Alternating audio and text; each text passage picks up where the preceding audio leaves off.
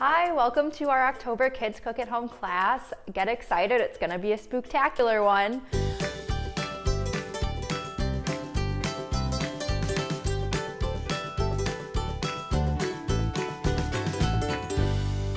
I'm Jess, one of your registered dietitians, and today we're gonna be making werewolf fingers and banana ghosts. So to get started with our werewolf fingers, I've already preheated the oven to 400 degrees, and now I'm gonna go wash my hands.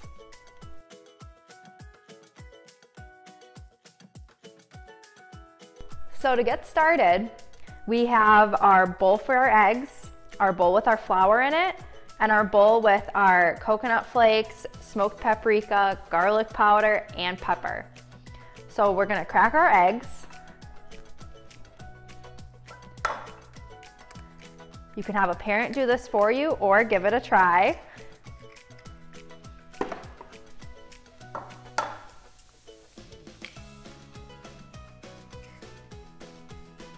So after cracking our eggs, we're gonna wash our hands.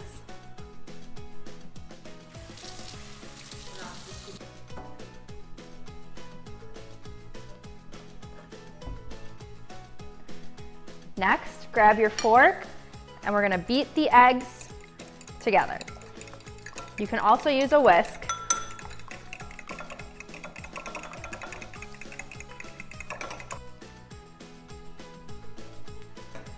So the eggs are ready. Now we have our unsweetened coconut flakes and our smoked paprika, garlic powder, and pepper. And we're gonna mix those up. I like to use my hands get them nice and mixed up. I have my plate of chicken tenders here. So being careful with raw chicken, you're gonna pick one up, put it in the flour, put it in the egg,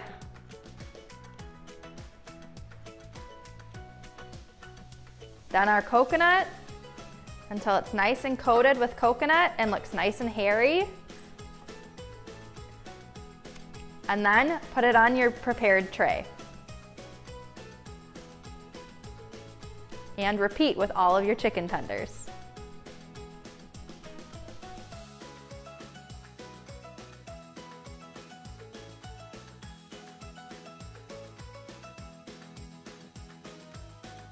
Now that all our chicken tenders are coated, we are gonna wash our hands because we always wash our hands after dealing with raw meat or uncooked eggs.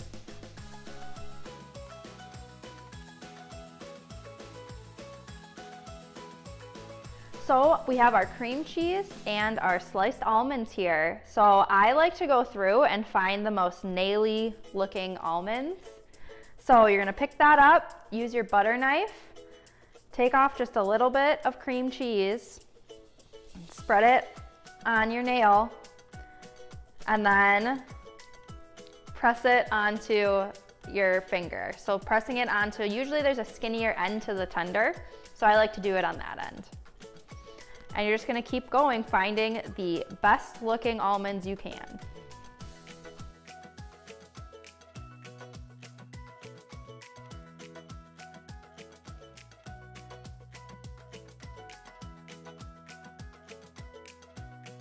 Now that our nails are on our chicken tenders, or now they look like werewolf fingers, we are gonna put them in the oven for about 20 minutes.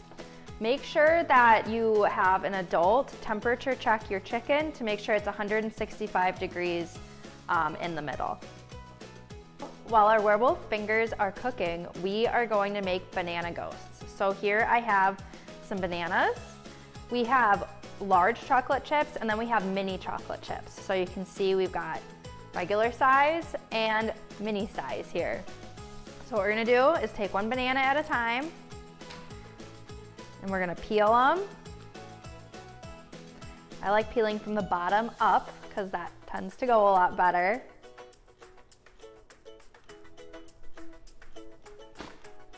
And then you're gonna cut your banana in half. So these are gonna be our two ghosts. Figure out where you want to have his face be. You're gonna take a small chocolate chip and put it in pointy end first so that it really sticks in there. And then, so here are his eyes. And then we are gonna take a large chocolate chip for his mouth. And there he is.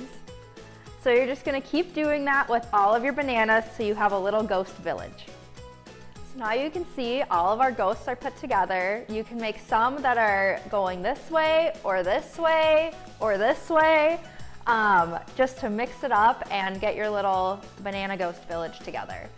Another fun Halloween snack that we wanted to show are these cute little vegetable cups. So all you need is a plastic cup. You can have some different sizes if you want to, um, and some googly eyes, also different sizes to make little monster vegetable cups.